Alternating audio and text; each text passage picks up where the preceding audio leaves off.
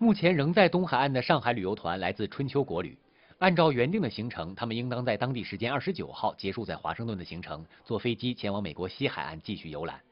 不过，由于飓风的影响，华盛顿所有航班全部取消，因此这二十五名团员目前滞留在华盛顿的酒店内。不过，安全完全可以保证。